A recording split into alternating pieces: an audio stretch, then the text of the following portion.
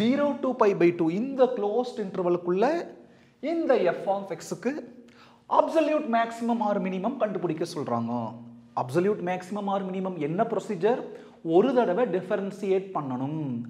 அந்த ஒரு வாட்டி டிஃபரன்சியேட் பண்ணதை ஈக்குவேட் டு ஜீரோ பண்ணணும் அப்படி பண்ணுறப்போ வேல்யூஸ் கிடைக்கும். அந்த வேல்யூவை அப்புறம் பாருங்கள் இந்த என் பாயிண்ட்ஸ் எல்லாத்தையும் கொண்டு போய் கொஸ்டினில் சப்ஸ்டியூட் பண்ணணும்.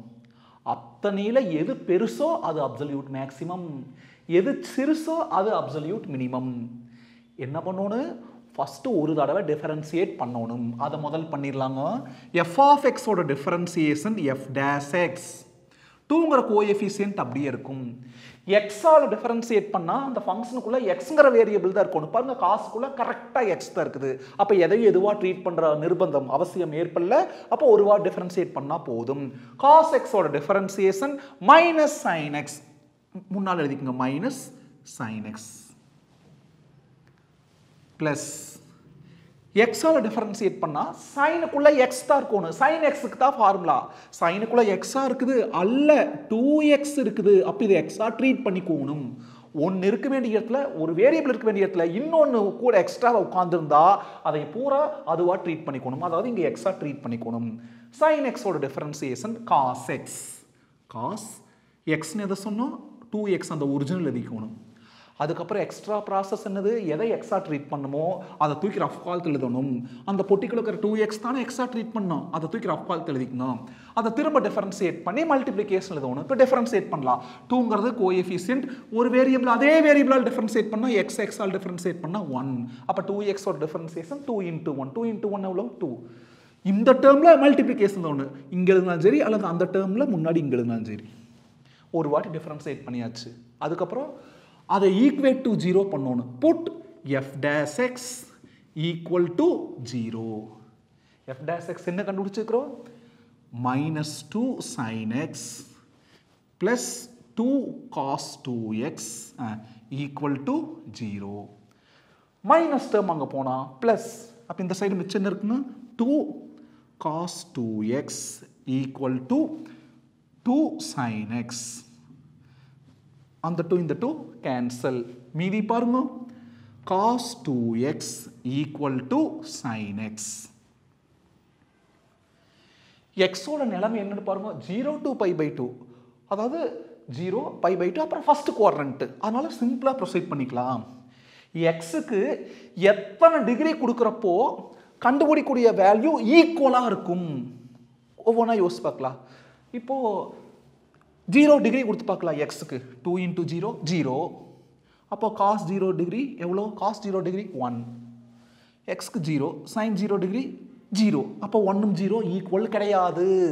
இப்போ எக்ஸுக்கு தேர்ட்டி டிகிரி கொடுத்து பார்க்கலாம். கேர்ஃபுல்லாக கவனிங்க. ட்ரையல் அண்ட் எரர் தான். ஒவ்வொன்றா கொடுத்து பார்க்குறோம். ஏன்னா அங்கே ஃபஸ்ட்டு குவாரண்ட்னு சொல்லிட்டாங்கோ.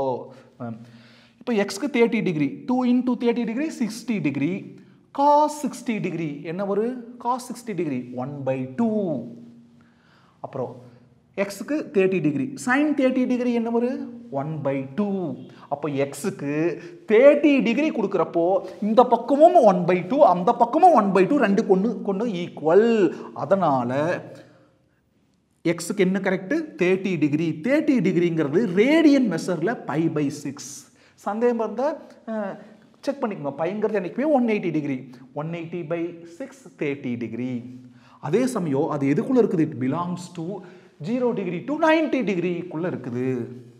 Zero comma pi by two இப்போ என்ன பண்ணணும் ஒரு வாட்டி டிஃப்ரென்சியேட் பண்ணி ஈக்குவேட் டு ஜீரோ பண்ணால் வர வேல்யூ ஒரு வேல்யூ என்ன வந்திருக்குது? பை பை சிக்ஸ் அப்புறம் என் பாயிண்ட்ஸ் என்னது?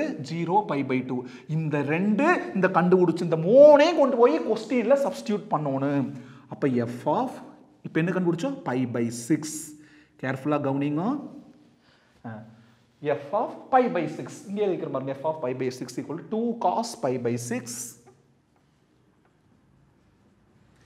plus sine two pi by six எக்ஸுக்கு பதிலாக pi by six pi by six pi by six pi by six simply பண்ணுங்க. Equal to two into பைனா one eighty one eighty by சிக்ஸ்னா thirty degree cos thirty degree cos thirty டிகிரிங்கிறது என்னது?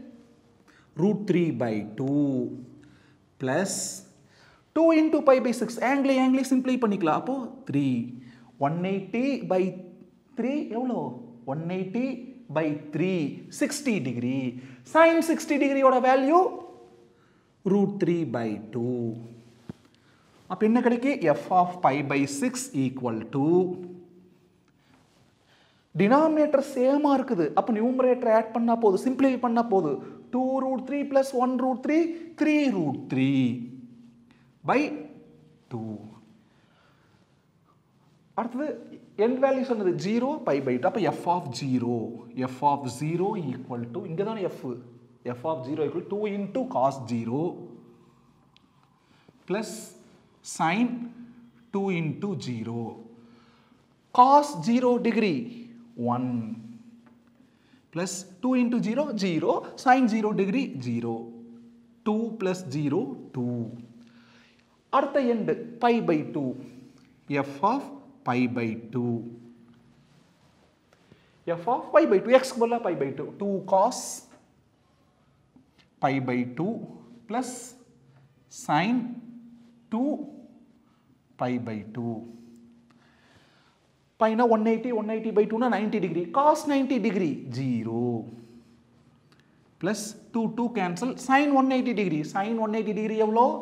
அதுவும் zero இதுக்கு என்ன technique அப்படின்னா we no வெரிவல் ஒரு unit சர்க்கிளில் இது என்னது? One comma zero minus one comma zero இது ஜீரோ கமா ஒன் இது zero comma minus one zero degree ninety degree one eighty degree two seventy degree three sixty degree sine pi பைங்கிறது இங்கே. முதலாக இருக்கிறது என்றைக்குமே ஒரு பாயிண்ட்னா எக்ஸ் கோஆர்டினேட் ஒய் கோஆர்டினேட்டு அந்த எக்ஸுங்கிறது என்றைக்குமே காசு ஒய்ங்கிறது என்றைக்குமே சைனு காஸ் பை அப்படின்னா மைனஸ் ஒன் சைன் பை அப்படின்னா ஜீரோ பாருங்க. அப்போ சைன் பை அந்த ஜீரோன்னு போட்டேன்.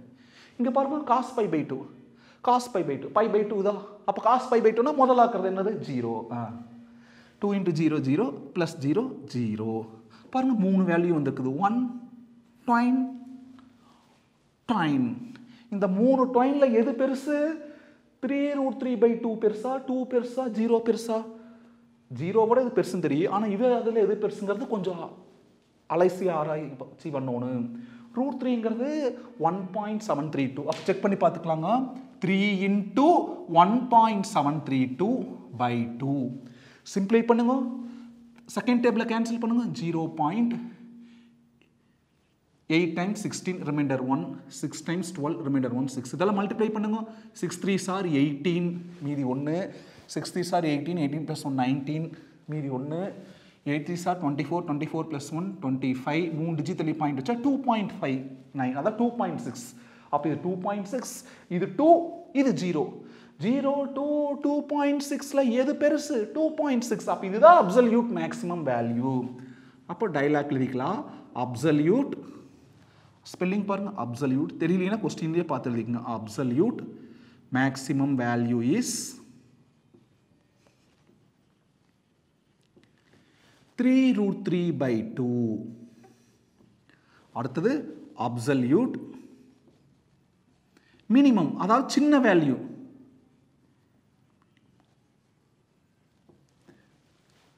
two point six two zero. எது சின்னது? ஜீரோ. அப்போ அப்சல்யூட் மினிமம் இஸ் ஜீரோ. சிம்பிளான சம் ஏற்கனவே இதுக்கெல்லாம் வீடியோ பண்ணியிருக்கிறோம். அது கூட கம்பேர் பண்ணுறப்போ இது ரொம்ப ஈஸியாக இருக்கும். எந்தெந்த சம்முக்கெல்லாம் ஷார்ட்கட் இருக்குதோ அதையெல்லாம் தனியாக வீடியோ போட்டிருக்கேன் எனக்கு சப்போர்ட் பண்ணுங்கள் என்ன வளர்த்து விடுங்க. பாய்